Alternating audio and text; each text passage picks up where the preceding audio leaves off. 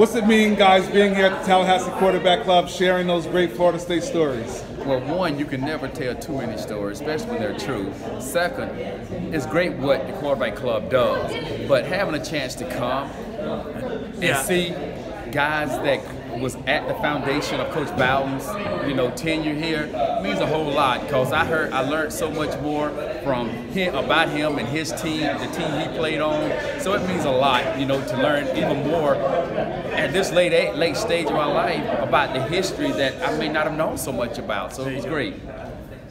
You know, the Tallahassee Quarterback Club's been around. I've been a uh, Leon High School guy. I've been a Tallahassee gentleman all my life. And just knowing what the Tallahassee Quarterback Club was about, it's just, and seeing all the history that was there, all the players and all the things that they've done in the community is phenomenal. And, uh, you know, I'm just glad to be here tonight just to kind of share a few thoughts that I had. And, uh, and being at Florida State and seeing these superstars like Dexter and, and Charlie and Kez and just seeing them up close and see what they're about, that's pretty cool too. So thanks And for having me. yourself, superstar. And two different eras of, but right. just the legacy and the rich tradition that was here in this building for Florida State football from the 80s up until the early 90s. And you guys are talking about how you built foundation. Speak on that. Well, I, I was in the 70s too now. Don't forget 70s, that. that's right. So you know, we started in the 70s, 70s and 80s, and then I went to the Dexter side. But uh, you know, it just we were a we were a good ball club that had a lot of good players, not a lot of great players